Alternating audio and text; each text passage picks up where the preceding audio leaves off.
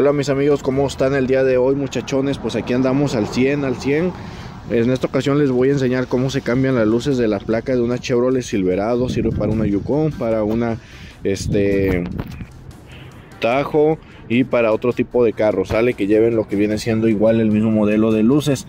Eh, entonces este por ejemplo pues aquí lleva lo que viene siendo esta medida. Esta es la medida que se ocupa lo que viene siendo este, este son bombillas tipo LED.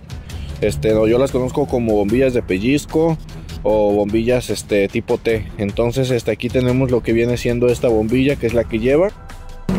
Lleva lo que viene siendo dos, una en esta parte y lo que viene siendo la otra en esta parte de aquí. Entonces para quitarlas es muy fácil, solamente te tienes que meter abajo de la camioneta por debajo de la camioneta aquí se quita lo que viene siendo esta lo, que es la bombilla nada más se le da vuelta lo que viene siendo este nuestro nuestro faro o nuestra bombilla aquí en el arnés y aquí sale lo que es este la bombilla original que siempre traen lo que viene siendo bombillas de halógeno en esta ocasión pues ya yo las cambié, este, ya nomás les estoy enseñando es cómo se cambian, por si quieren ponerle unas LED o quieren cambiar todas las bombillas de todos sus carros.